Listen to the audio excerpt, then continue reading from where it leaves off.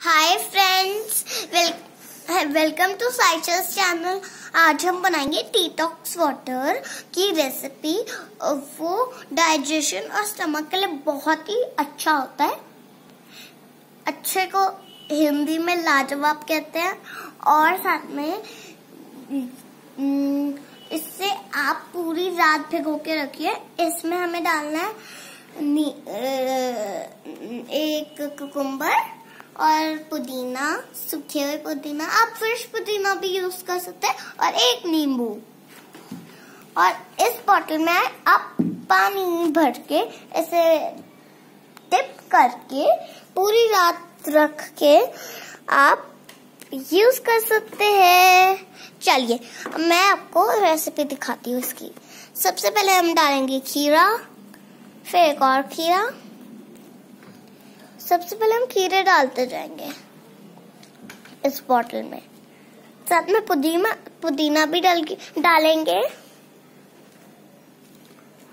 आपको वीडियो में ढंग से दिख नहीं रहा होगा ना? है ना?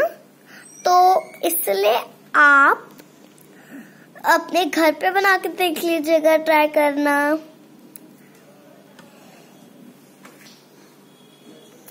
चलो, अब वाटर को डाल दिया है हमने। एक थोड़ा सा वाटर हमने डाल दिया है एक कटोरे में। अब हम डालेंगे नींबू लेमन मतलब। अब हम डालेंगे पुदीना।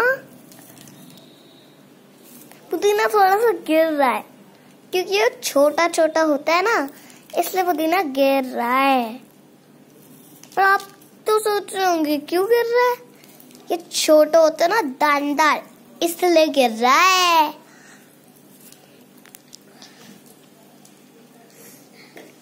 चलो, अब बॉटल को बंद कर दिया।